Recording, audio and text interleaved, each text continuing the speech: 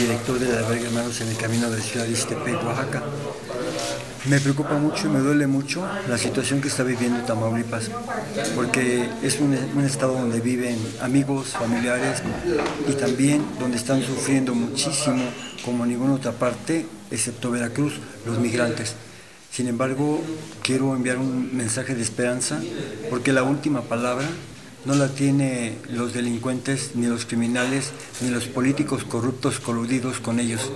La última palabra la tiene Jesús y su última palabra es reino de Dios.